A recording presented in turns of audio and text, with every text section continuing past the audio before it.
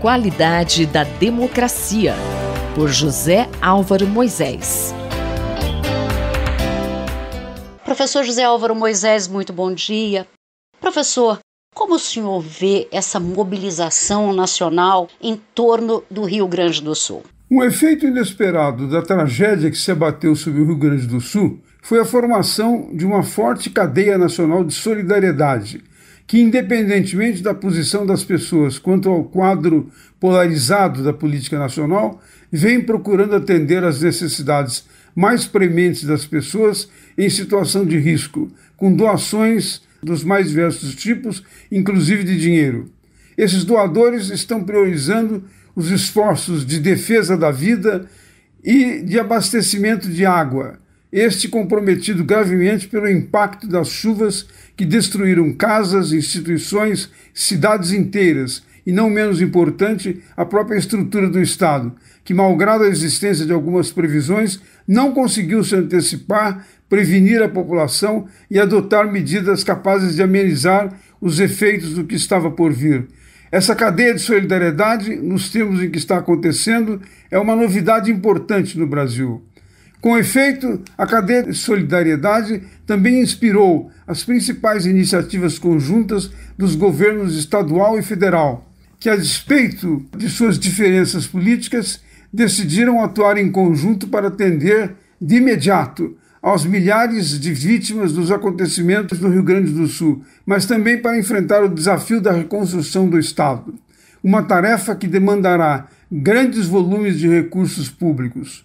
Mas como o senhor avalia, professor, a atuação dos governantes nesse momento? O governador Eduardo Leite reforçou a priorização da reconstrução do seu estado usando o exemplo do Plano Marshall, que após a Segunda Guerra Mundial ajudou a reconstrução da Alemanha. O governo do presidente Lula, de sua parte, reagiu bem e adotou uma série de medidas elaboradas e discutidas com o governador para enfrentar a tragédia.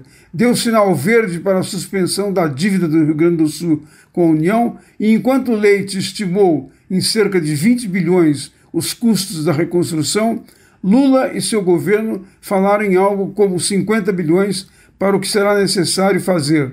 Em consequência, apresentaram ao Congresso vários projetos de lei destinados a facilitar a ajuda ao Rio Grande. Não faltaram críticas, contudo, ao desempenho de Leite pela suposta omissão de iniciativas específicas para enfrentar os efeitos das mudanças climáticas. Mas outros observadores, considerando que medidas dessa natureza não são efetivas do plano local, cobraram a ausência de uma coordenação mais efetiva desse processo em escala nacional, algo que tem que ser feito necessariamente pelo governo federal. Algumas consequências importantes podem ser tiradas desse processo em seu conjunto para a qualidade da democracia brasileira. Em primeiro lugar, a forte solidariedade, que inclusive levou voluntários de outros estados para atuar no palco da tragédia, é, por assim dizer, um corretor de um aspecto negativo da cultura política dos brasileiros. Em pesquisas de opinião que coordenei durante vários anos no Brasil, do mesmo modo que fizeram algumas instituições internacionais para nós e outros países, o Brasil aparece como um campeão da inexistência de confiança interpessoal, pois as pessoas usualmente não confiam umas nas outras, à exceção de seus parentes mais próximos. E isso é fatal para a formação de capital social, um elemento indispensável para estimular a participação dos cidadãos, para a existência de iniciativas coletivas e para maior fiscalização e controle do desempenho e da responsabilidade dos governantes.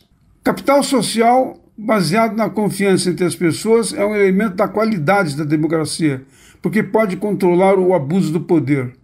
Mas a solidariedade também influiu no comportamento dos principais atores políticos. As boas relações entre Lula e Leite são um claro indicador de que políticos de posições diferentes, independentemente do que os separam política e ideologicamente, podem conviver e cooperar no enfrentamento de problemas nacionais e nas questões de interesse público. Lula tem mais preocupação com a questão das desigualdades sociais.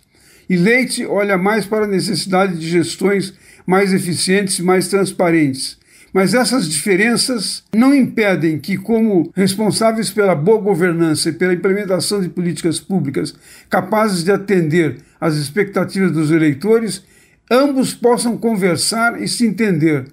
Isso é a legitimação da diversidade política como um aspecto central da democracia, a capacidade de convivência pacífica e civilizada entre adversários que se ouvem uns aos outros mas respeitam as suas identidades distintas. Esse é também um aspecto que qualifica melhor o regime democrático onde ele existe. E é uma alternativa, ou mais do que isso, uma contraposição à tendência negativa que divide o país hoje apenas em duas posições polarizadas. Este foi o professor José Álvaro Moisés que conversou comigo, Márcia Vanza. A qualidade da democracia por José Álvaro Moisés.